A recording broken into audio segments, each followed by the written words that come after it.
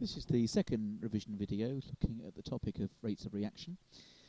In the first video we looked at how rate of reaction can be calculated from experimental data including a consideration of the kinds of properties of reaction mixtures that can be monitored using simple laboratory apparatus. So in this second video we'll look at these learning outcomes. We'll uh, explain and use the term order of reaction in the context of a rate equation. We'll use data to be able to calculate half-lives and we'll use a variety of experimental data to actually find the order of a reaction and hence construct a rate equation. Okay, so let's remind ourselves then what we mean by a rate equation and hence the order of reaction. So, rate equation shows how the rate of a reaction depends on various concentration factors do be careful here that we don't confuse rate equation with the equation that you use to calculate a rate from experimental data, which is the change in concentration over the change in time. A rate equation is showing you how the rate of reaction depends on the different concentrations of reagents in a reaction mixture. And so typically we might get this kind of rate equation. This, for example, would be a rate equation showing how rate depends on hydrogen peroxide concentration in uh, a decomposition reaction.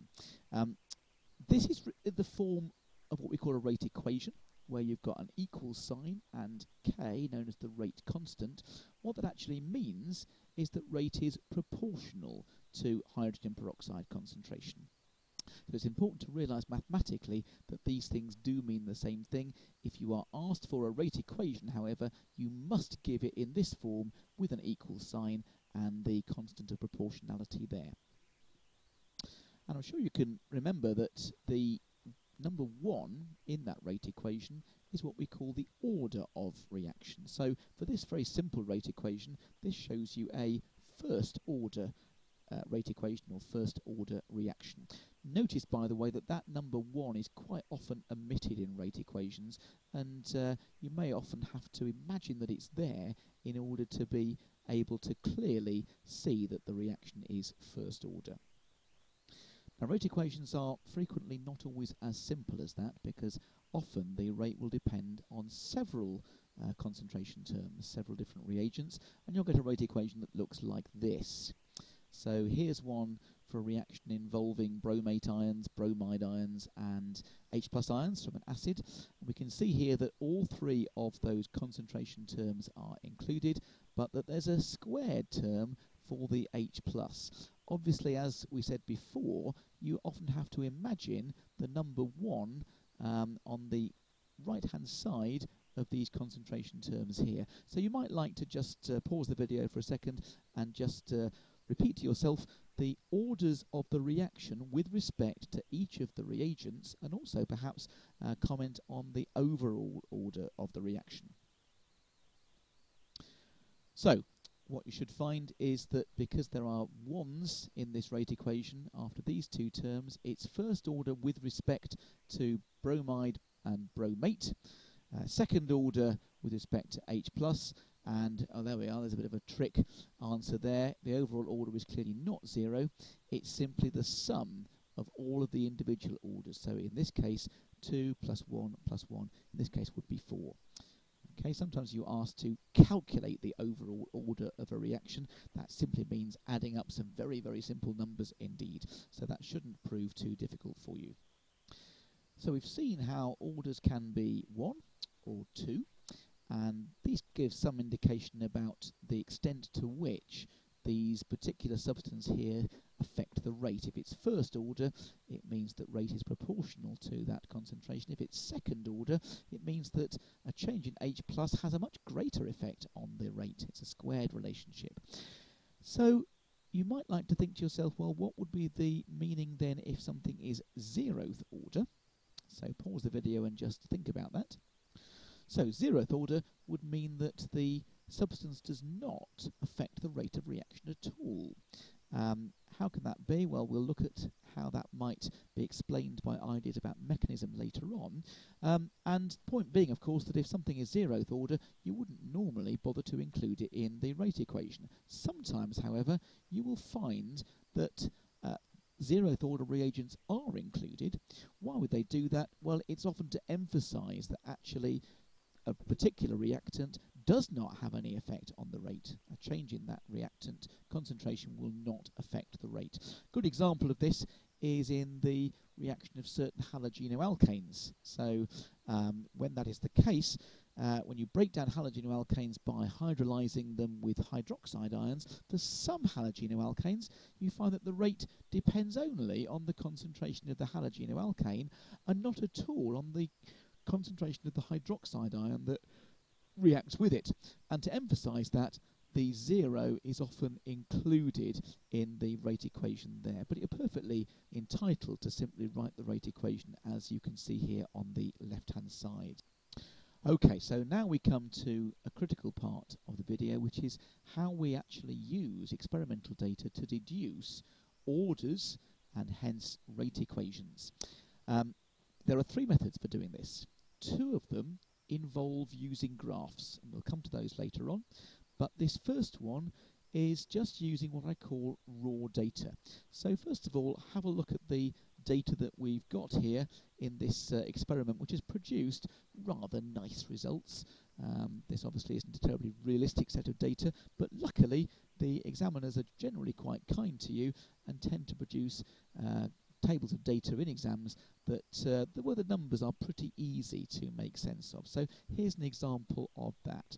So have a quick look at the data, make sure that you can understand what it actually means. Pause the video while you do so. Okay, so we've got two different uh, reagents here, each of which may affect the rate of a particular reaction and we've measured the rates of reaction in five different experiments. Now it may look as though the numbers have been chosen almost randomly here, but if you look very carefully, that is far from the case. So um, have a look at what's happened, for example, in experiments 1, 2 and 3. In experiments 1, 2 and 3, the concentration of A has changed, while that of B has remained the same. Okay, um, and that enables us to be able to make some immediate deductions about the effect of changing the concentration of A on the rate of reaction. So see if you could have a think about how uh, the rate of reaction depends on the concentration of A and then pause the video and work out therefore what the order of the reaction is with respect to A. Okay, well, what I hope you realise was that the order with respect to A was 1, first order. How do we get that? Well, if we look at the experiments 1, 2 and 3, the concentration of B remains constant, but we first of all double the concentration of A. You should be able to see, despite some slightly awkward numbers, powers of 10 here, that the rate has also doubled. To check that, we vary the concentration of A again, double it between experiments 2 and 3, the rate doubles again. So as you double concentration, rate doubles, that's a proportional relationship that suggests first order. Okay, now see if you can work out which experiments you would compare in order to get information about the effect of changing the concentration of B. So think about two experiments that you would look at in order to help you find the order of the uh, reagent B. Okay, well, there's a couple of possibilities. Um, the most obvious one would be to compare experiment 1 and experiment 4. Why those two? Well, because in those two, the concentration of B changes, it's doubled in fact, but the concentration of A remains the same, 0.1. So any change in rate would be due entirely to the change in the concentration of B. But look, you double the concentration of B, the rate doesn't change at all. Therefore, I hope you're able to deduce that the order is zeroth with respect to B. Also see if you can figure out a second pair of experiments that you could look at to confirm that order. And what I hoped you were able to figure out is that you would also look at experiment 2 and experiment 5. A stays the same, B is doubled, but the rate is not affected. So again, zeroth order. So now just see if you can write down, therefore, uh, a rate equation for this reaction involving concentrations of A and concentrations of B. And so the rate equation should look like this. Obviously, you could, if you wish, leave out completely the B term because it is zeroth order. And here's one for you to do yourself without any help from me. So pause the video while you figure out the orders with respect to NO and O3. And what I hope you deduced was this, that it's first order with respect to both of those. How do we obtain that? Well, as you can see, it, eh, comparing experiments 1 and 2, we've halved the NO concentration, kept O3 the same. Halving NO also causes the rate to halve. Now comparing experiments 2 and 3, we have halved the O3 concentration and again the rate has halved, suggesting a proportional relationship for O3 as well, so first order there. Okay, we now come to a second method for deducing order using graphs. And here we're going to use processed graphs that you might obtain from progress curves like this. You'll remember these from the first video. So the idea is that by plotting tangents from each of these curves, we're able to work out rates at each of these different concentrations. So we obtain a table of data looking something like this. Now you could just use the raw data here to see that as you double hydrogen peroxide concentration, the rate pretty much doubles as well, but a much more precise way of doing this would then be to plot all of that data on what I call a processed graph of rate against concentration. And if we do so, we end up with a graph looking something like that. It's a straight line graph, and that suggests a proportional relationship, so it's a clear indication that this is first order. So it's first order with respect to hydrogen peroxide. Now, first order is by far the most common order that you can deduce from these process graphs, but you ought to be aware of what second order and zeroth order would also look like. So a second order graph would look like a curve here, where if you double the concentration, you'll notice that the rate goes up by a lot more than double. In fact, it goes up by a factor of four. And that is a clear indication that you have a second order graph. Um, it is possible to get other orders as well, but you won't encounter them at uh, A level. So if you find a curve looking something like this, you can be fairly certain we're looking at a second order process. If you plot a graph like this and as you vary concentration rate does not change at all, well, it's clearly zeroth order. And the third method is often the most familiar to you. Again, it's a graphical method, but this time it's using progress graphs directly without processing them in the same way we saw before. And it's using the idea of half-life. Just pause the video while you remind yourself what half-life means.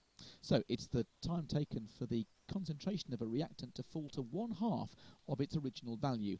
And you may be familiar with uh, using lines like this to show the time taken, for example, to fall from 1.4 to 0.7 and then from 0.7 to 0.35 and what you end up with is a time interval the distance between these lines on the uh, x-axis which uh, you can actually easily work out from the date from the numbers on that x-axis. Just pause the video while you actually work out figures for those three half-lives on that graph. So each of these periods of time between these two lines here is about two and a half hours. And if you find that, that successive half-lives are approximately constant, you can deduce that the order is 1. And that is, again, the, by overwhelmingly the most common order that you'll deduce using this method. However, one very important bit of practical uh, planning that you would need to do if you were using this method is it'll only work if you uh, only allow one reactant to change in concentration over the period of the experiment. How do we do that? Well, you might like to pause the video while you think how to achieve that. And the answer is that you would aim to keep that reactant in um, the other reactants rather in large excess. So the reactant that you're allowing to change, you have in a much smaller quantity than the others. It will change, the others will remain pretty much constant. So a graph like this where you have constant half-life suggests first order. What about second order and zeroth order? Well, second order, you get a second order graph will give you half-lives that increase. In fact, they actually double as you measure successive ones. So it looks like a similar curve on the face of it, but the half-lives are clearly dramatically incre increasing here. With a zeroth order line, you get a straight line, and if you work out the half-lives, they actually uh, decrease. In fact, they halve as you kind of measure successive ones. Although, to be honest, you hardly need to worry about that because the half-life is uh, because the, the graph is so obviously a straight line.